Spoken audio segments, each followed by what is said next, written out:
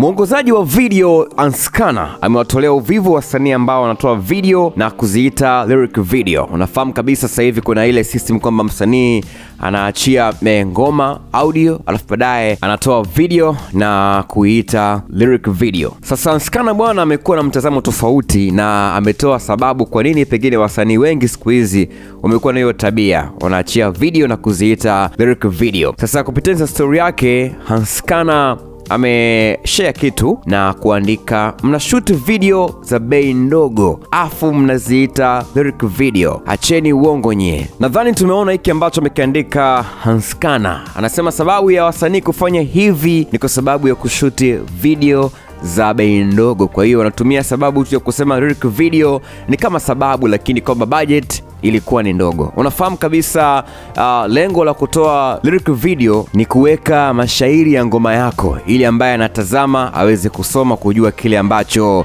amekiandika. Kwa hiyo sasa hivi utaona wasanii wengi sana wamekuwa wakitoa video za namna hiyo, lakini Anskana anasema kwamba sababu ya wasanii kufanya hivyo ni kwa sababu unatoa video zenye bei ndogo eh, bei nafuu. Imekuwa ndio mtindo ambao wasanii wengi wanafanya kwa mtazamo wa Hanskana. Labda nikuachie wewe uniambie kwa hiki ambacho Hanskana amekiandika kwenda kwa wasanii, unaichukuliaje? Unamuunga mkono au mtazamo wako wewe ni upi? Tuambie maoni yako ni yapi, na kubwa kabisa, salia SNS kwa taarifa nyingi zaidi.